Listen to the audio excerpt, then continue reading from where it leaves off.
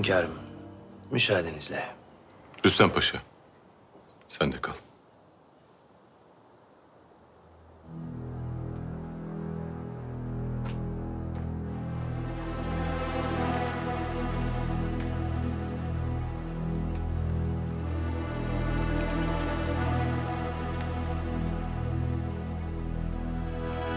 Huzurumuz ve afetimiz daim olsun.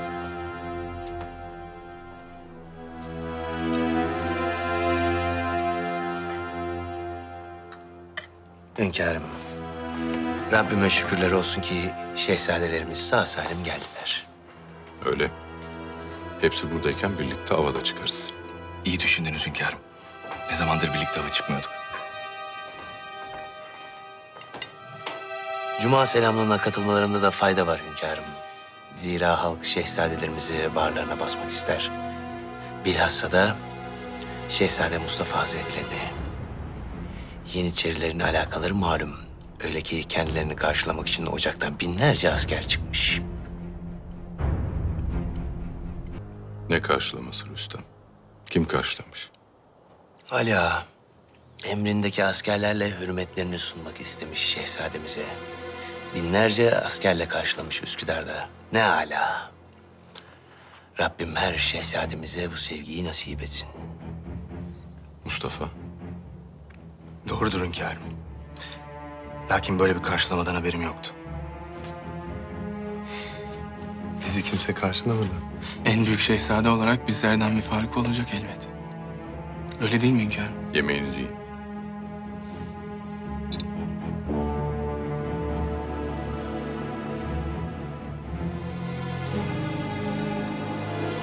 Allah'ın izniyle bu sefer beklediğinden çok daha bereketli geçti hünkârım. Hem size hem de şehzadelerimize nice hediyelerle döndüm. Âlâ.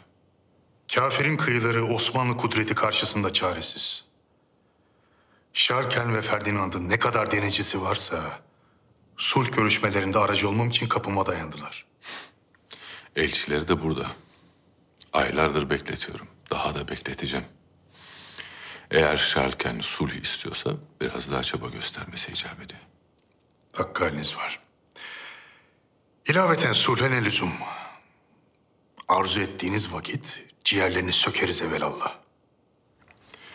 En büyük zafer savaşmadan kazanılandır Kapıdan Paşa. Öyledir elbet.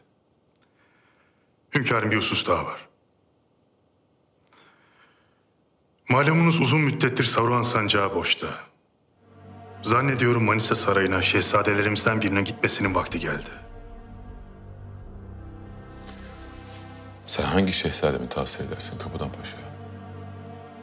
Usulen en büyüğünün tayin olmasında fayda görüyorum hünkârım. Zira taht sancağı tecrübeli bir şehzadeye emanet edilmeli. Mustafa. Amasya'ya gittiklerinde bir hayli üzgündüler. Buna rağmen bir kez olsun şikayet etmeden canla başla çalıştılar. Toyken yapılan hatalar mazide kaldı. Size layık bir evlat olabilmek için üstün gayret içindeler. Yaptıkları malumum oldu. Aslanımdan hep hayırlı haberler geliyor. Hünkârım, esasen bu bir fırsat. Varsa mazide bir kırgınlık, onu suya atmanın, rüzgara bırakmanın tam vaktidir. Anlaşıldı Kapıdan Paşa. Başka bir şey yoksa çekilebilirsin.